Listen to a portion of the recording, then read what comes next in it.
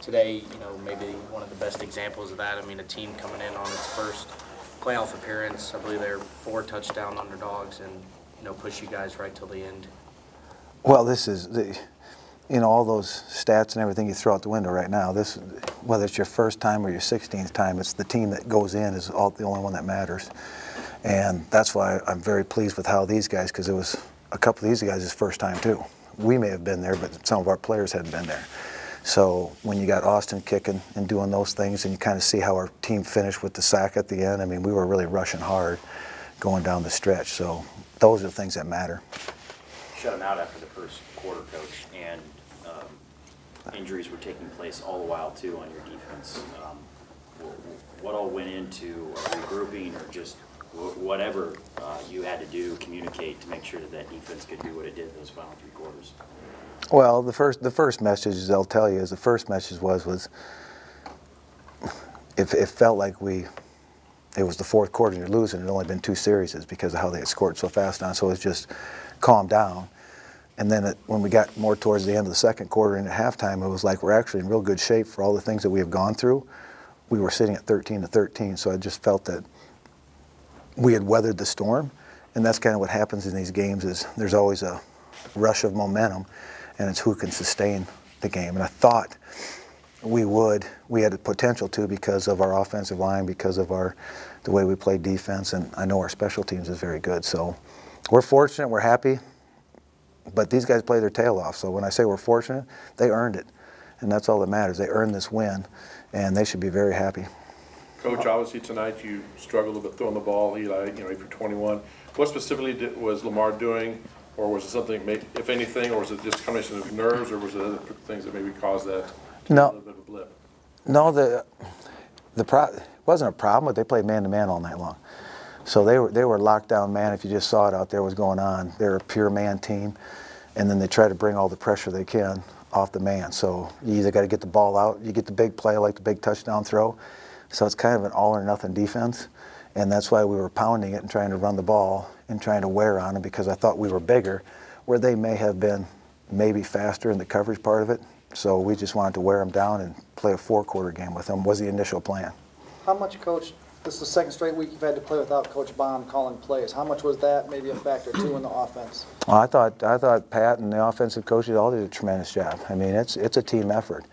It's it's uh, it's preparing like we always do. I thought actually it was probably, and I told the coaches in, in the locker room as I came out, it might have been the most well-coached offensive football game adjusting wise that I've been involved with in a long time because the adjustments were going on all the time as far as trying to figure out a spray pass or a, or a out curl or whatever it was, and then the, the double move for the touchdown, uh, the wildcat on the third, third down towards the end there. All those things were came about as the game was unfolding. They weren't initially in the plan. So I thought our coaches, and compliment that may have been one of the most adjusted, well-coached offensive football games that I've been in a while. to go with that, coach? I mean, you guys ran the ball 50 times today. Was that in the game plan, or was you know what was the plan on on that end? That, that was in the game plan, not 50 times, but 45. so, no, in in all seriousness, we did want to. We knew they were fast, and I actually thought that's the strength of our team is we've got a good offensive line. We've got some good tight ends. We had Bradley back, and we got Marcus. So I thought we had some strength in in that area, and I knew that they were were going to play man-to-man coverage all day on us. So if they're going to do that, then you're going to have to defend the run too, and that's was kind of the back and forth of everything. Both running backs ran extremely hard.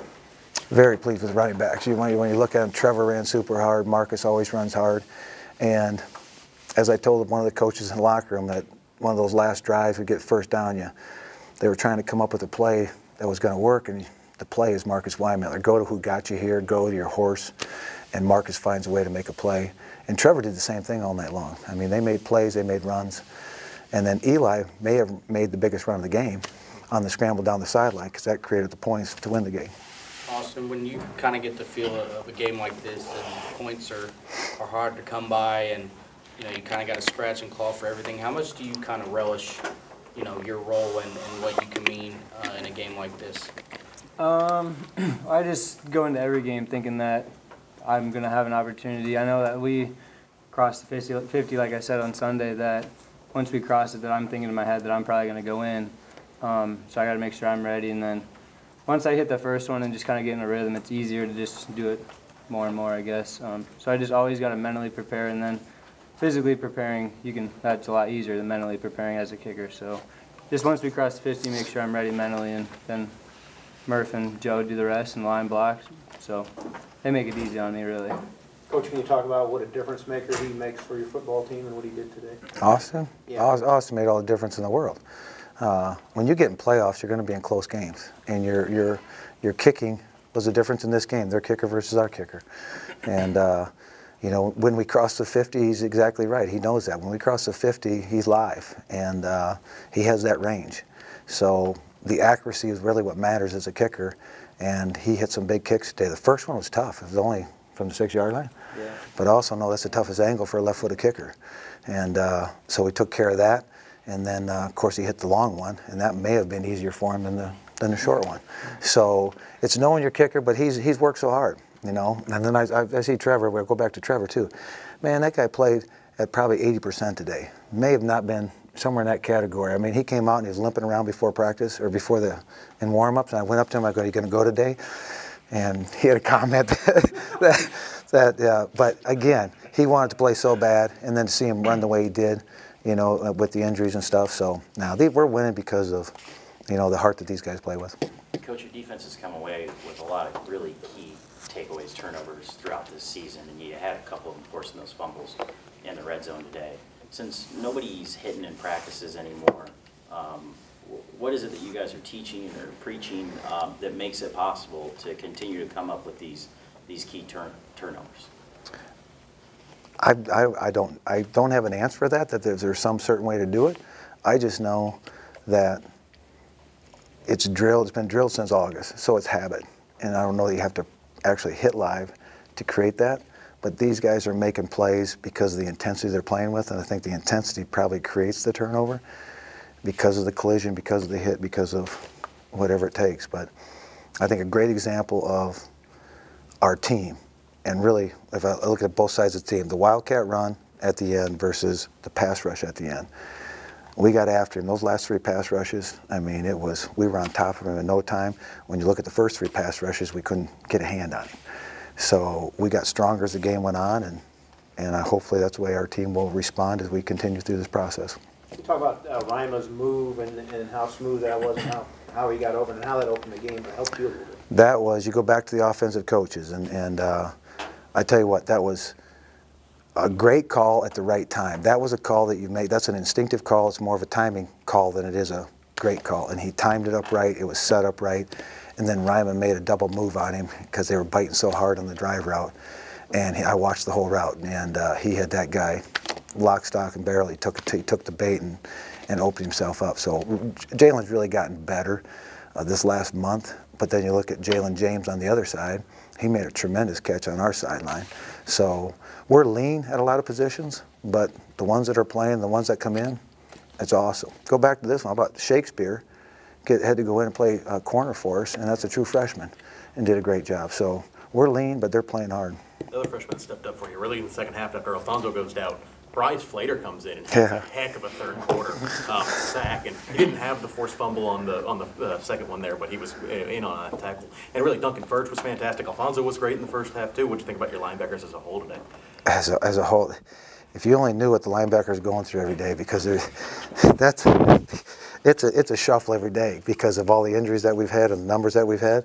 But uh, Bryce Flater, and then, you know, I'm just glad he didn't get ejected for targeting again. so, but he, in all seriousness, Bryce really was a difference. I told DJ in the locker room again, Bryce Flater may have been the difference in the third and fourth quarter because he was making a lot of tackles on that run game, and he will run and he will hit you when he gets there.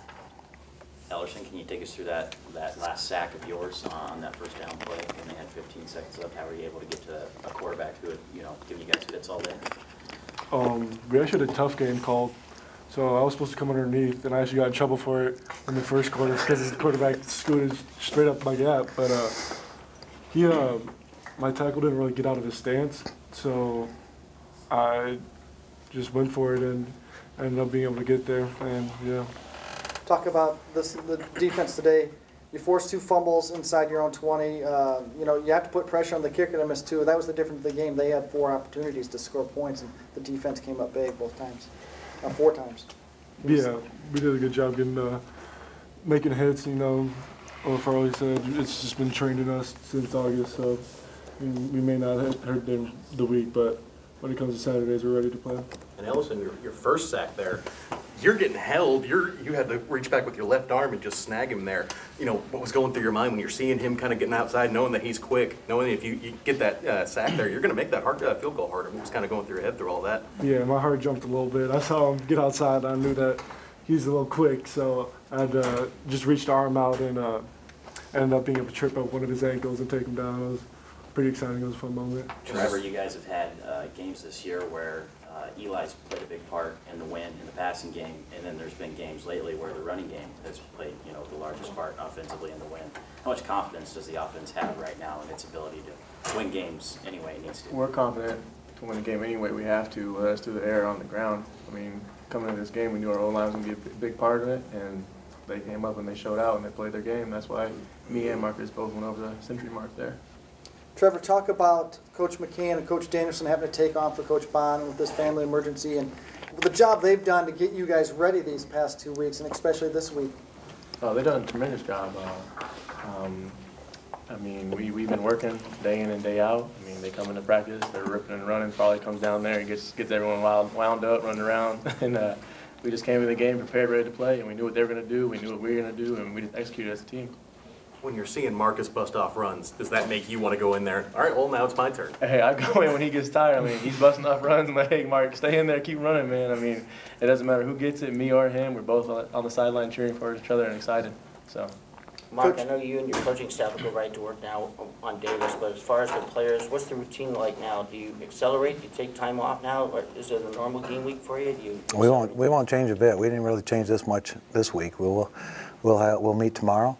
Uh, We'll have Monday off, and we will go on uh, uh, Tuesday, Wednesday, Thursday. We will not break stride uh, from what we've done. We just got to get ready for another football team. Coach, we kind of know or aware of the linebacker situation, but what now about Isaiah Nimmers and then Xavier Williams? I know Xavier went through pregame today, wasn't able to play, and what's the status on Nimmers? Yeah, we'll have to, I have not heard what the total status is on that, but Xavier was kind of in his position about a week ago, so they, they come around, you never know when they're going to make it back. But uh, we'll just have to wait and see what, what Tuesday brings. But uh, they, they need to enjoy this one, and you know these are, these are hard to get. You got to enjoy them when you get them. But uh, we will have to find a way to get the next man in and get him ready to play. So if it's Shakespeare or, or uh, Roosevelt hasn't played in a while, he's, he's still ready to go. So you know we've, we've got a few bodies left. What was it with Nimmers? Was it knee or? Uh, the knee. Okay, well, that's what that was my indication when he came off the field. So it didn't look good when they brought him off. I mean, so it's we've had a few of those lately. When you've had so much turnover at the linebacker position specifically, how important has it been to have a steadying force like Duncan Furch in there, leading you guys in tackles again today? Oh, it's it's it means everything. Duncan Duncan's very intelligent. You can make again. There, there's a lot of adjusting going on in defense, if you can imagine today, and you can't make the kind of adjustments unless you have a player in the field that can adjust that quickly. And with one word, Duncan can make everything work for us out there. So we, we on defense, there's multiple adjustments as you would expect, and Duncan was able to do that for us and get all 11 on the same page. All right, thanks, guys. Thank you. Hey, thanks for coming, everyone. Appreciate you.